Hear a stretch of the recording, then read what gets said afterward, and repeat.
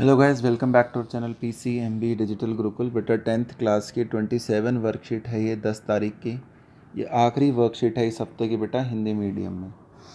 धातु एव ए धातु, आयनिक घटक, आयनिक यौगिक आयनों से बने यौगिक होते हैं। ये आयन वो परमाणु हैं जो इलेक्ट्रॉनों को प्राप्त करते हैं या खो देते हैं, जिससे उन्हें शुद्ध सकारात्मकता या नकारात्मकता का आवेश मिलता है।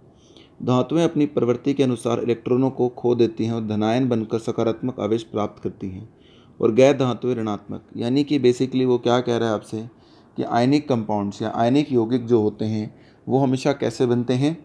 आयनों से।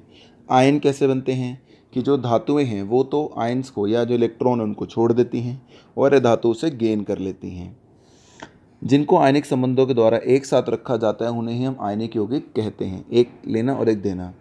तत्व अपने निकटतम कुलीन गैस विन्यास नोवल गैस कन्फिग्रेशन के लिए इलेक्ट्रॉन प्राप्त या खो सकते हैं, क्योंकि ऐसा होने पर उनको एक स्थिरता हासिल होती है।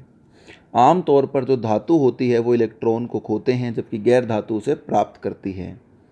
जैसे आपको यहाँ पर दिखा भी रखा है उसने कि सोडियम क्लोराइड में सोडियम जो है, उसने खोया है, उसने इसको दे दिया है, और जब ये क्लोरीन के पास ये चला गया है तो ये सोडियम क्लोराइड बन गया।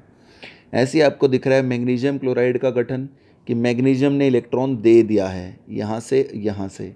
और क्लोरीन ने दोनों एक इस आयन को और इसको अपने मॉलिक्यूल को दोनों को ले लिया है। टू क्लोरीन को टू इलेक्ट्रॉन मिल गए हैं। एक ही मैग्नीशियम ने दो क्लोरीन के लिए इलेक्ट्रॉन्स निकाल दिए हैं। एक आयनिक यौगिक का नाम बताएँ, जिसे आप आसानी से अपनी रसोई में पा सकते हैं। तो भाई, इसका उत्तर होगा सोडियम क्लोराइड। क्या उत्तर होगा? Sodium chloride. टेबल सॉल्ट के तौर पे हमें मिलता है। आयनिक आबंध कैसे बनते हैं? तो आयनिक आबंध कैसे बनते हैं भाई?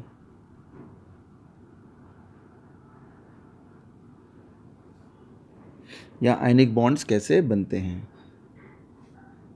तो इसमें आप ये लिखेंगे। तीसरा है, परमाणु इलेक्ट्रॉन क्यों प्राप्त करते हैं और क्यों खोते हैं? तो इसका उत्तर है ये। अपना निकटतम गैस विन्यास प्राप्त करने के लिए। क्या कैल्शियम ऑक्साइड भी एक आयनिक यौगिक है? हाँ। क्योंकि मेटल और नॉन मेटल से बना है।